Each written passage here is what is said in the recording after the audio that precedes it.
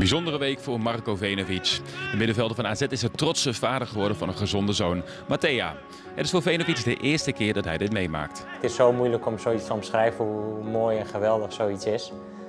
Dus uh, ja, alle clichés kloppen eigenlijk gewoon. Ja, want dat had je ook op uh, Instagram geschreven, van alle clichés uh, kloppen. Ja. Kan, je er nog even wat meer uitleggen wat ja, er met jou de gebeurt? Liefde die, dat je hele wereld eigenlijk binnen een moment verandert. En je gevoel binnen een moment verandert. En je gedachten binnen een moment veranderen. Dat eigenlijk niks meer belangrijker is dan dat kleine jochie.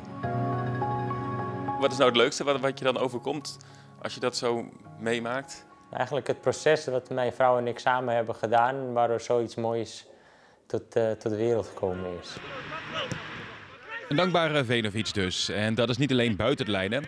Ook daarbinnen gaat het goed met hem. Bijna een jaar keek hij toe vanaf de zijkant door een gescheurde kruisband. Maar nu eh, zit zijn revalidatie er zo goed als op.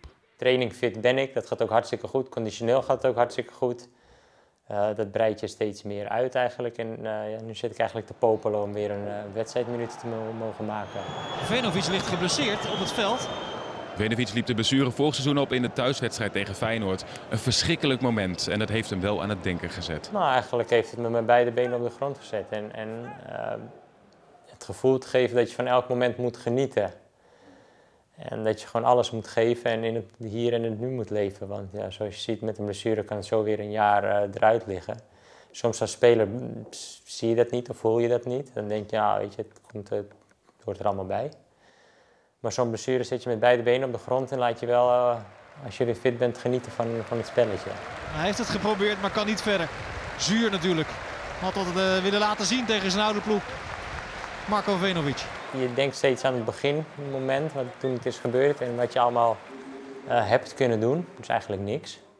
Dat je elke keer stapjes hebt kunnen maken tot, tot eigenlijk weer helemaal te kunnen genieten van het spelletje.